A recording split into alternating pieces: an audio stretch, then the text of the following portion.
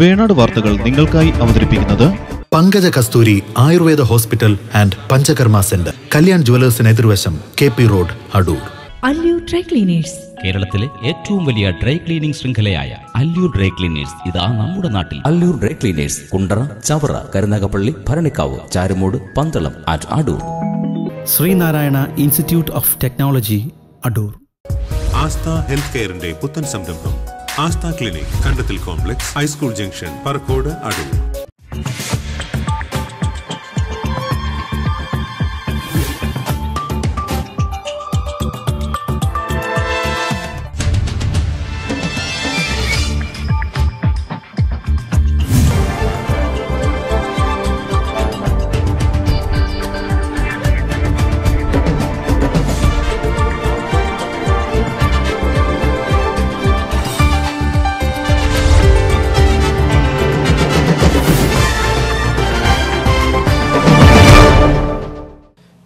വേണാർ വാർത്തകളിലേക്ക് സ്വാഗതം. പ്രധാന വാർത്തകൾ.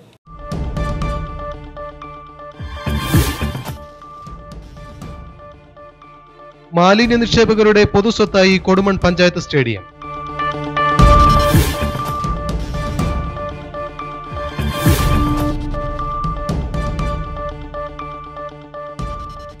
വിലക്കയറ്റത്തിൽ റെക്കോർഡിട്ട് തക്കാളിപ്പഴം.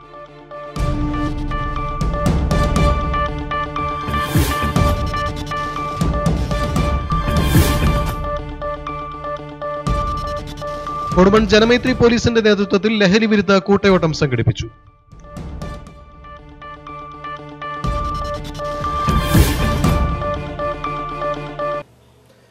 വാർത്തകൾ വിശദമായി. കൊടുമൺ പഞ്ചായത്ത് സ്റ്റേഡിയം മാലിന്യ നിക്ഷേപകരുടെ പൊതുസ്വത്തായി മാറിയിട്ട് നാളുകളേറെയായി രാത്രിയെന്നോ പകലെന്നോ വ്യത്യാസമില്ലാതെ മാലിന്യം തള്ളൽ നിർബാധം തുടർന്നിട്ടും മൂക്കിന് താഴെ സ്ഥിതി ചെയ്യുന്ന കൊടുമൺ ജനമേത്രി പോലീസ് ഇതൊന്നും അറിഞ്ഞു മട്ടില്ല മാലിന്യ നിക്ഷേപത്തിനെതിരെ കർശന നടപടിയെടുക്കുവാൻ പോലീസ് തയ്യാറാണെന്ന ആവശ്യം ശക്തമാണ്. കൊടുമണ്ണിലെ കായിക പ്രേമികളുടെ ചിരകാല അഭിലാഷമാണ് സ്വന്തമായി ആധുനിക സൗകര്യങ്ങളോട് കൂടിയ കളിക്കളമെന്നത്. ഏഴുംകുളം കൈപ്പട്ടൂർ റോഡരികിൽ കൊടുമൺ പോലീസ് സ്റ്റേഷന് മുൻഭാഗത്തായുള്ള ആറേക്കർ വിസ്തൃതിയിലുള്ള വയൽ പതിനെട്ട് വർഷം മുൻപ് പഞ്ചായത്ത് ഏറ്റെടുത്ത് മണ്ണിട്ട് നികത്തിയെങ്കിലും തുടർ പ്രവർത്തനങ്ങൾ മാലിന്യം തള്ളലിൽ ഒതുങ്ങി നിൽക്കുകയാണ്. സ്റ്റേഡിയത്തിന്റെ മിക്ക ഭാഗങ്ങളും ചെളിക്കുളമായി മാറിക്കഴിഞ്ഞു. ബാക്കിയുള്ള ഭാഗങ്ങൾ കാട് കയറി മാലിന്യ നിക്ഷേപകരുടെ ഇഷ്ടതാവളമായി മാറിക്കഴിഞ്ഞു. പഞ്ചായത്തിലെയും സമീപ പ്രദേശങ്ങളിലെയും മുഴുവൻ മാലിന്യങ്ങൾ ഈ സ്റ്റേഡിയത്തിലേക്കാണ് എത്തിക്കൊണ്ടിരിക്കുന്നത്. രാത്രിയെന്നോ പകലെന്നോ വ്യത്യാസമില്ലാതെ സ്റ്റേഡിയത്തിലേക്ക് മാലിന്യം തള്ളുമ്പോൾ സ്റ്റേഡിയത്തിന് സമീപമുള്ള പോലീസ് സ്റ്റേഷനിലെ ജനമൈത്രി പോലീസുകാർ കാഴ്ചക്കാരായി നോക്കി നിൽക്കുവാറാണ് പതിവ്. രണ്ടായിരത്തി പതിനാറിലെ സംസ്ഥാന ബജറ്റിൽ സ്റ്റേഡിയം വികസനത്തിനായി പത്ത് കോടി രൂപ വകയിരുത്തിയപ്പോൾ കായിക പ്രേമികളുടെ സ്വപ്നത്തിന് ചിറകുമുളയ്ക്കുകയും മാലിന്യ നിക്ഷേപത്തിന് അന്ത്യമാകുമെന്നും മിക്കവരും കരുതി. എന്നാൽ പ്രവർത്തനങ്ങൾ മന്ദഗതിയിലായത് മാലിന്യ നിക്ഷേപകർക്ക് ആശ്വാസമാകുകയായിരുന്നു. അർവാവശിഷ്ടം ഉൾപ്പെടെയുള്ള മാലിന്യങ്ങൾ സ്റ്റേഡിയത്തിലേക്കും പരിസര പ്രദേശങ്ങളിലേക്കും ചാക്കുകളിലും പ്ലാസ്റ്റിക് കവറുകളിലും കെട്ടി നിക്ഷേപിക്കുകയും ഇവ അഴുകി പ്രദേശമാകെ ദുർഗന്ധം വമിച്ചിട്ടും തൊട്ടുകീഴിലായുള്ള പോലീസ് ഇതൊന്നും കണ്ടമട്ടില്ല. മാലിന്യ നിക്ഷേപിക്കുന്നവരെ കണ്ടെത്തുവാൻ ഇവർക്ക് ബഹുദൂരം സഞ്ചരിക്കേണ്ട സ്ഥിതിയല്ല ഇവിടെയെന്നും നാം ഓർക്കണം. മദ്യപന്മാർ ഉൾപ്പെടെ സന്ധ്യ കഴിഞ്ഞാൽ സ്റ്റേഡിയം താവളമാക്കുന്നതായും പരാതികൾ ഉയരുന്നുണ്ട്. സ്റ്റേഡിയത്തിലെ മാലിന്യ നിക്ഷേപകരെ കണ്ടെത്തി മാതൃകാപരമായി ശിക്ഷിക്കുവാൻ കൊടുമണ്ണിലെ ജനമൈത്രി പോലീസ് തയ്യാറാകണമെന്നാണ് നാട്ടുകാരുടെ ആവശ്യം. News desk Vena T V.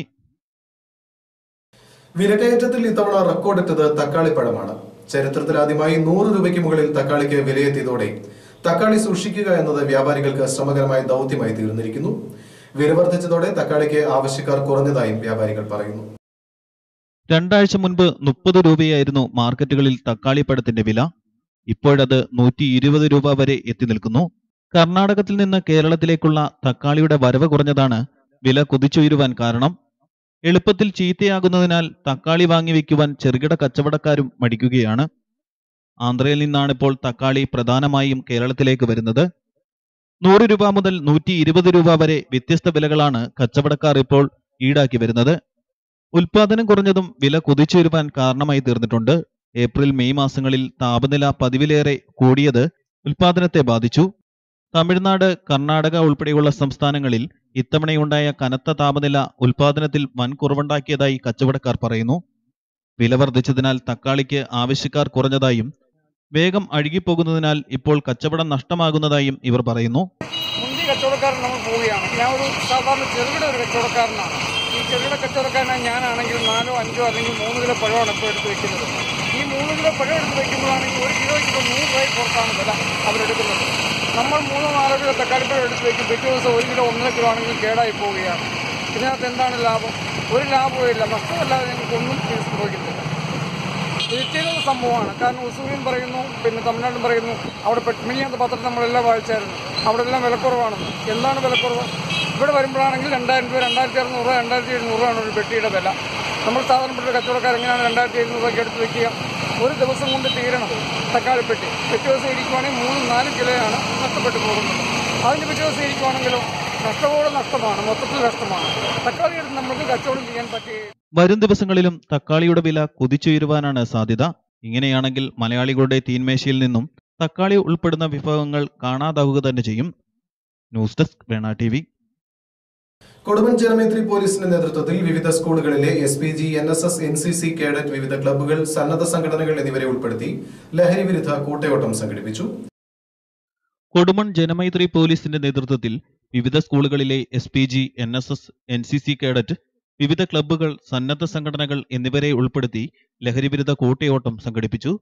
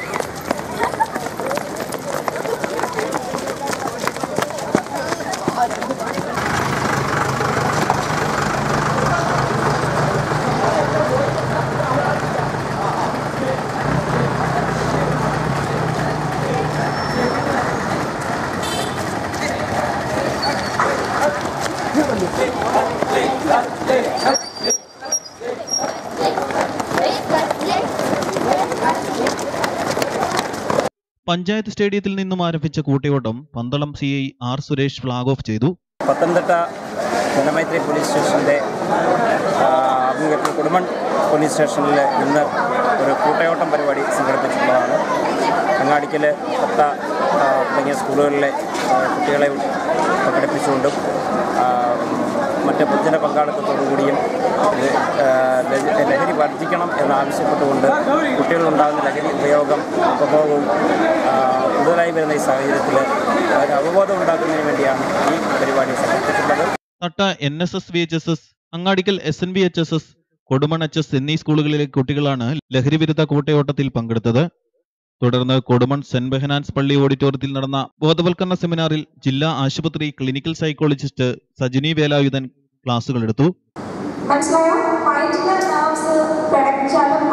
പൊട്ടിയാലും ചെയ്തിട്ട്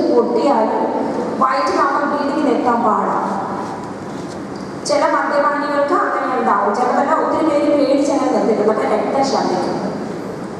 അപ്പം ഞാൻ കൗൺസിലിംഗ് ചെയ്തപ്പോൾ ഞാൻ ഇങ്ങനെ പറഞ്ഞു. ഇങ്ങനെ ഒരു പയ്യൻ മരിച്ച അതായത് വിവാഹത്തിന് മുമ്പ് അവൻ കുറേ നാളെ എന്റെ ബന്ധു തന്നെയാണ്. ജനമൈത്രി സമിതി അംഗങ്ങൾ വിവിധ രാഷ്ട്രീയ നേതാക്കൾ തുടങ്ങിയവർ പരിപാടികൾക്ക് നേതൃത്വം നൽകി. ന്യൂസ് ഡെസ്ക് വേണ ടി വി. ശ്രീനാരായണപുരം മഹാവിഷ്ണു ക്ഷേത്രത്തിൽ വാവുബലി തർപ്പണവും പിതൃപൂജയും ഞായറാഴ്ച നടത്തപ്പെടും. ഇളമണ്ണൂർ എൽ പി എസ് ജംഗ്ഷനിലുള്ള കടവിൽ പുലർച്ചെ നാല് മണി മുതൽ ബലിതർപ്പണവും തുടർന്ന് പത്ത് മുപ്പത് മുതൽ ക്ഷേത്രത്തിൽ മേൽശാന്തി ഹരികൃഷ്ണൻ ഭട്ടതിരിയുടെ മുഖ്യ കാർമ്മികത്വത്തിൽ പിതൃപൂജയും നടത്തപ്പെടും. മറ്റു വാർത്തകൾ ശേഷം. Pankaja Kasthuri Ayurveda hospital and Panchakarma centre Kalyan ജുവലേഴ്സിന് എതിർവശം K P road Adoor. Allu dry cleaners. കേരളത്തിലെ ഏറ്റവും വലിയ ഡ്രൈ ക്ലീനിംഗ് ശൃംഖലയായ അല്ലൂർ ഡ്രൈ ക്ലീനേഴ്സ് ഇതാ നമ്മുടെ നാട്ടിൽ. Alloor dry cleaners Kundara Chavara Karunagappally Bharanikkavu Charummoodu Pandalam at Adoor. Sreenarayana institute of technology Adoor. Aastha health കെയറിന്റെ പുത്തൻ സംരംഭം Aastha clinic Kandathil complex high school junction Parakode Adoor. വാർത്തകൾ തുടരുന്നു. കേരളത്തിലെ പ്രാദേശിക പത്രപ്രവർത്തകരുടെ സംഘടനയായ കേരള ജേർണലിസ്റ്റ് യൂണിയൻ പത്തനംതിട്ട ജില്ലാ കമ്മിറ്റിയുടെ നേതൃത്വത്തിൽ സംഘടിപ്പിക്കുന്ന മാധ്യമ പഠന ക്യാമ്പ് ജൂലൈ ഇരുപത്തിമൂന്ന് ഇരുപത്തിനാല് തീയതികളിൽ കടമ്പനാട് തുവയൂർ ബോധിഗ്രാമിൽ നടക്കും. A D G P K Padmakumar camp ഉദ്ഘാടനം ചെയ്യും. കേരളത്തിലെ പ്രാദേശിക മാധ്യമ പ്രവർത്തകരുടെ കരുത്തുറ്റ സംഘടനയായ കേരള ജേർണലിസ്റ്റ് യൂണിയൻ പത്തനംതിട്ട ജില്ലാ കമ്മിറ്റി അടൂർ തുവയൂർ കേന്ദ്രമാക്കി പ്രവർത്തിക്കുന്ന ബോധിഗ്രാമിന്റെ സഹകരണത്തോടെ സംഘടിപ്പിക്കുന്ന മാധ്യമ പഠന ക്യാമ്പ് ജൂലൈ ഇരുപത്തിമൂന്ന് ഇരുപത്തിനാല് തീയതികളിൽ ബോധിഗ്രാം ക്യാമ്പസിൽ നടത്തപ്പെടും. സംസ്ഥാനത്തെ പ്രമുഖരായ മാധ്യമ പ്രവർത്തകരും മറ്റ് വിശിഷ്ട വ്യക്തികളും രണ്ടു ദിവസമായി നടക്കുന്ന ക്യാമ്പിൽ പങ്കെടുക്കും.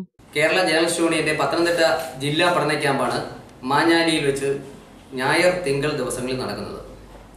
ക്യാമ്പിന്റെ ഔപചാരികമായ ഉദ്ഘാടനം കേരള പോലീസ് അക്കാദമിയുടെ ഡയറക്ടറും എ ഡി ജി പിയുമായ കെ പത്മകുമാർ വൈകിട്ട് അഞ്ചു മണിക്ക് നിർവഹിക്കും. സമയബന്ധിതമായി ക്ലാസുകൾ ആരംഭിക്കുകയും സമയബന്ധിതമായി ക്ലാസുകൾ അവസാനിപ്പിക്കുകയും ചെയ്യുകയാണ് ചെയ്യുന്നത്. ജൂലൈ ഇരുപത്തിമൂന്നാം തീയതി ഞായറാഴ്ച രണ്ടു മണിക്ക് നടക്കുന്ന സെമിനാറോടുകൂടി ക്യാമ്പിന് തുടക്കമാകും. കേരള ജേംസ് യൂണിയൻ പത്തനംതിട്ട ജില്ലാ കമ്മിറ്റിയുടെ ആഭിമുഖ്യത്തിൽ ഞായറും തിങ്കളുമായി രണ്ട് ദിവസം നടക്കുന്ന പഠന ക്യാമ്പ്. ഞായറാഴ്ച രാവിലെ ഉച്ചയ്ക്ക് ഒരു മണിക്ക് മാഞ്ഞാലി ബോധി ഗ്രാമിൽ വെച്ച് നടക്കുകയാണ് അപ്പോൾ ഇതിന്റെ പ്രവർത്തനങ്ങളെല്ലാം ഏതാണ്ട് ഒരു പരിധി വരെ പൂർത്തീകരിച്ചു. ഇനിയും കുറേ ചെറിയ കാര്യങ്ങൾ മാത്രമേ ഉള്ളൂ. അതിപ്പോൾ തന്നെ ഇന്നുകൊണ്ട് എല്ലാം പൂർത്തീകരിക്കും. നാളെ ഉച്ചയ്ക്ക് ഒരു മണിക്ക് ടൈം റിപ്പോർട്ടിംഗ് മാധ്യമം എന്ന ഒരു class Pathanamthitta DYSP police intelligence മേധാവി ഡിവൈഎസ്പി പത്തനംതിട്ട. നസീർ സാറാണ് ക്ലാസ് നയിക്കുന്നത്. ക്രൈം റിപ്പോർട്ടിംഗ് മാധ്യമങ്ങളിൽ എന്നതാണ് സെമിനാറിലെ വിഷയം. Adoor K A P battalion deputy commandant P T Chacko moderator ആയിരിക്കും. കെ എസ് യു സംസ്ഥാന സെക്രട്ടറി അനിൽ വിശ്വാസ് സെമിനാർ ഉദ്ഘാടനം ചെയ്യും. പത്തനംതിട്ട ജില്ലാ പോലീസ് ഇന്റലിജൻസ് മേധാവി എ നസീം വിഷയാവതരണം നടത്തും. തുടർന്ന് നാല് മുപ്പതിന് നടക്കുന്ന പൊതുസമ്മേളനത്തിൽ കെ ജി യു ജില്ലാ പ്രസിഡന്റ് എം സുജേഷ് അധ്യക്ഷനായിരിക്കും. കെ ജി യു ജില്ലാ സെക്രട്ടറി പി ടി രാധാകൃഷ്ണക്കുറുപ്പ് സ്വാഗതം ആശംസിക്കും. കെ ജെ യു സംസ്ഥാന സെക്രട്ടറി സനൽ അടൂർ അനുശോചന പ്രമേയം അവതരിപ്പിക്കും.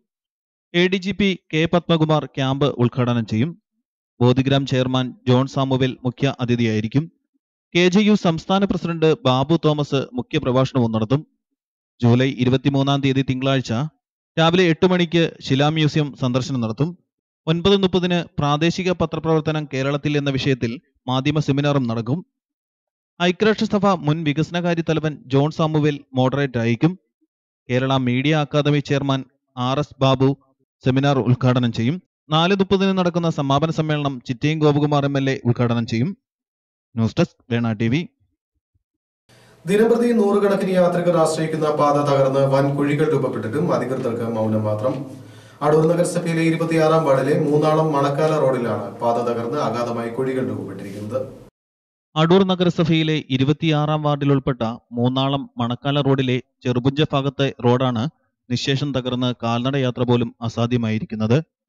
കനത്ത മഴയിൽ രൂപപ്പെട്ട വലിയ കുഴികളിൽ വീണ് ഇരുചക്ര വാഹനങ്ങളടക്കം അപകടത്തിൽപ്പെടുന്നത് നിരന്തര സംഭവമായി മാറിയിട്ടും കുഴികൾ അടയ്ക്കുവാൻ അധികൃതർ കാട്ടുന്ന അലംഭാവത്തിനെതിരെ പ്രതിഷേധം ശക്തമായിരിക്കുകയാണ്. അടൂരിനെയും മണക്കാല ജംഗ്ഷനെയും ബന്ധിപ്പിക്കുന്ന പ്രധാന പാതയായ ഇതിനെ ദിനംപ്രതി നൂറുകണക്കിന് വാഹനയാത്രികരാണ് ആശ്രയിച്ചു വരുന്നത്.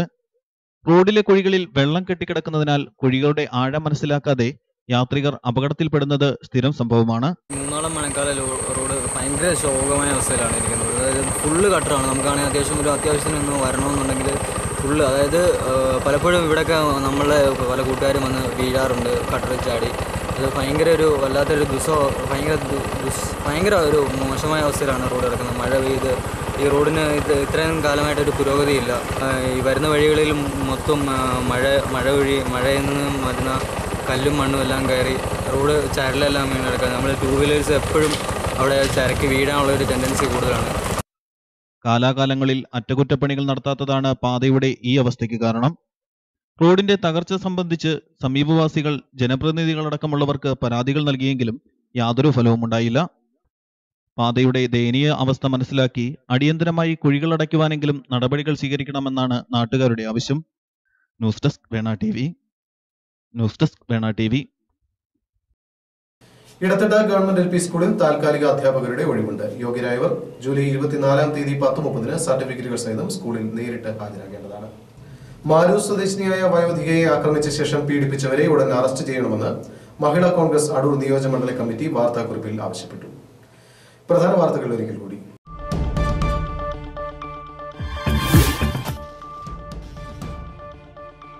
മാലിന്യ നിക്ഷേപകരുടെ പൊതുസ്വത്തായി കൊടുമൺ പഞ്ചായത്ത് സ്റ്റേഡിയം.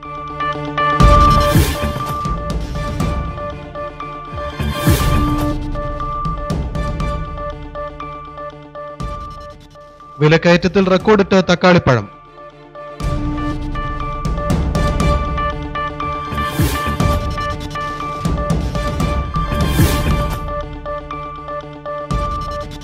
കൊടുമൺ ജനമൈത്രി പോലീസിന്റെ നേതൃത്വത്തിൽ ലഹരി വിരുദ്ധ കൂട്ടയോട്ടം സംഘടിപ്പിച്ചു.